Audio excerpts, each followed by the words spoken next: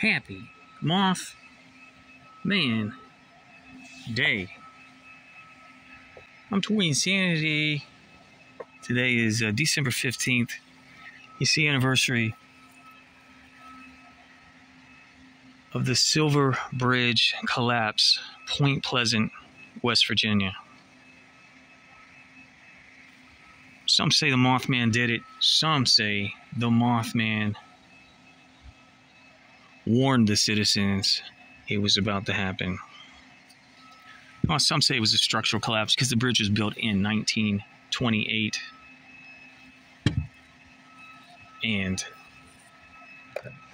it was in disrepair. Cars in 67 weighed 4,000 pounds. Model T, I think, was 1,500 and then you know like a commercial truck in the 20s was like maybe 20,000 pounds. In the 60s, they were 60,000 pounds plus traffic. A lot of stress on that bridge. 44 people died. December 15th, 1967.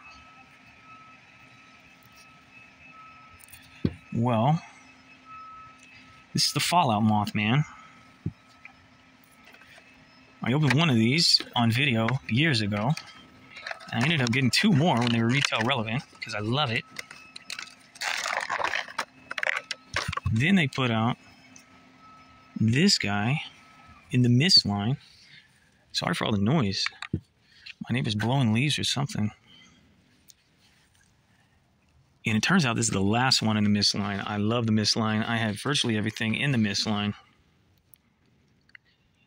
Although I've committed very few to video because I've been waiting for the appropriate day, you know? It's cute, it's okay. It was a Funko headquarters exclusive. I don't even know what that means or if it still exists. Oh my gosh. But I paid like 30 or $40 for this in 2020. I looked it up today. There's like one seller, and they want $130 in box. You know, I don't keep boxes, but then there's a China seller selling one for uh, you know like thirty dollars. So I should probably just get that one and flip this one on the bay because I don't want your stupid box Funko. And one of the reasons I got more of these because I want I wanted to take the eyes off of one and put a light in it. Okay, that was my Toy Sanity prophecy. Hasn't happened yet. Dude, I gotta admit the Fallout one's better, but this is kind of based on the original sightings that happened from from November 15th, 1966 until the collapse of the Silver Bridge, December 15th, 1967. There was a year of sightings. Some say it was mass hysteria, some say it was sandhill cranes in Point, Point, Point, Point Pleasant, West Virginia. Yeah, let's read this. Residents of Point Pleasant, West Virginia reported multiple sightings of the Mothman between November 66 and December 67. That's what I just said. Describing a humanoid creature with glowing red eyes and a massive wingspan. To this day, Point Pleasant celebrates their hometown cryptid with a statue and a museum. Hey, straight out of Wikipedia. I read that too, Funko. I mean, happy to have it. It's cute. It's nothing like the statue there. So in 2002, they started the Mothman Festival, which is in September.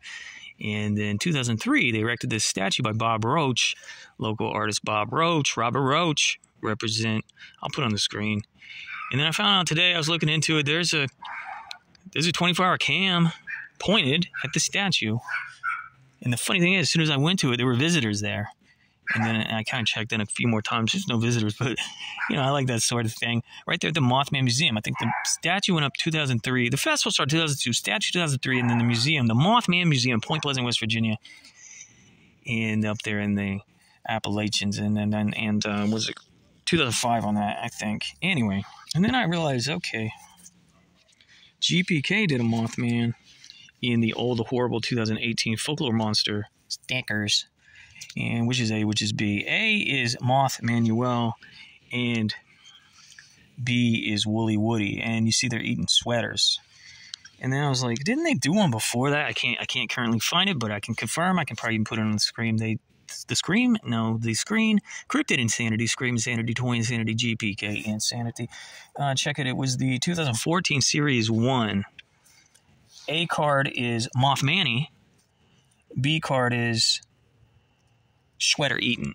Those were bonus cards. I swear I have those somewhere in the toy vault. Uh, but for day, today, deck 15. Uh, I could only find these. Big fan of the Mothman, big fan of the Funko Myth line. Wish they had kept up with it. Apparently, it started at 14. 14 was Bigfoot. 15 was the Snowy Bigfoot, aka Yeti. And then, you know, of course, it did the Loch Ness Monster, the Cyclops, the Jackalope, the Gnome, the Chupacabra, uh, you know, Medusa, Sphinx. They did the Sphinx. They did a Pegasus, a Minotaur, Kraken. I'm sure I'm forgetting something. The gnome, did I say the gnome? Anyway, well, I don't know why it started at 15, and also I don't know why they ended it. We never got a we never got a Jersey Devil. We never even got a Flatwoods monster. There's tons of cryptids and folklore creatures. I don't think we even got a Wendigo. Funko, pick the Myth line back up. Anyway, happy to have this. And happy to have this box comparison. Uh, and we'll do a side by side figure for you. Okay. And then I do listen. I have the uh, I have the Mezco Mothman. I should grab that. And then of course, of course, everybody knows I have the Cryptkins. Chunky little beasts. So you know he has the humanoid shape, and I call those angel wings, bird wings. But then uh, you know very insect-like. I'll put a picture on the screen from the game. We'll see how accurate this is to the Fallout game. Fallout Fridays GPK Wednesdays. No, just kidding. I don't really do anything Fallout. But yeah, I got I got all these back in the day. No, I didn't. I just got the mole miner and the rad toad. Don't care about your people. Don't care about your stupid humans. Funko, pick up the Myth line. Oh, by the way, I put a little bit of white on this one's eyes. Uh, I just did that today. I didn't have time to, get, you know, put lights in it or whatever I said I was going to do earlier. Okay, very cool.